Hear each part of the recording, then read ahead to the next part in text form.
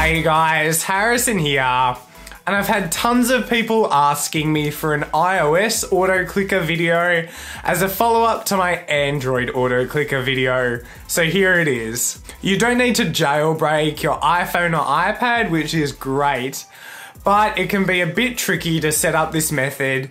So make sure that you follow along and pause or rewind the video if you need to catch up.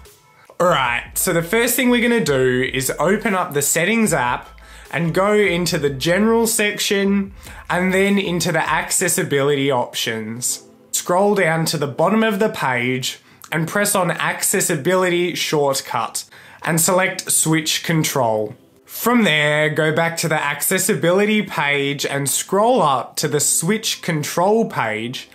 Go to switches and then add a new switch using the screen in full screen and we want to set it to select an item.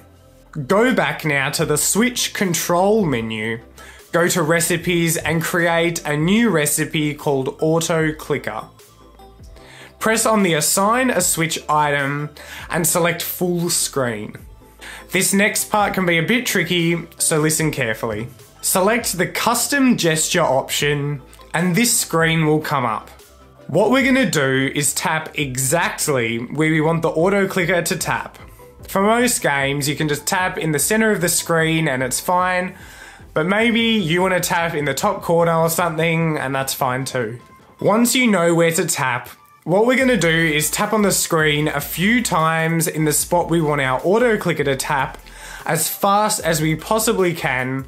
And then while the dots are still blue, we're gonna press save in the top right. This can be a bit tricky to get right, but don't worry if you don't. Just press cancel in the top left and then give it another shot. Once you've done that, go back to the recipes screen and under launch recipe, select the auto clicker that we just created. So now we've made the auto clicker, but how do you actually use it? Easy. First, open up the app you want to click in. From there, you need to triple click the home button and what this will do is activate the switch control mode. Now, whenever we tap the screen, the gesture that we recorded before will automatically run. And if you tap fast enough, what you can actually do is queue up actions so that even when you stop tapping, the gestures will continue to run for a bit.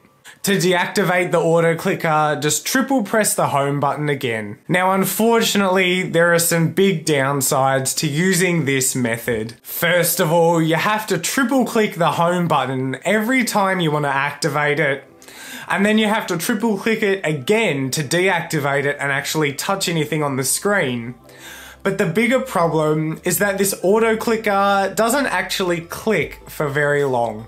Unfortunately though, you can't really get much better than this without jailbreaking your device. So while this method will definitely speed up your clicking and hopefully give your hands a bit of a rest, it's not gonna let you put your phone down and have it automatically click for hours and hours. Like I said before, the only way to do that is by jailbreaking your device. So guys, thanks for watching. I hope you enjoyed and I hope you found this useful. If you did, don't forget to leave a like and subscribe down below. And if you've got any questions, leave those in the comments section. Apart from that, thanks for watching and I'll catch ya in the next video.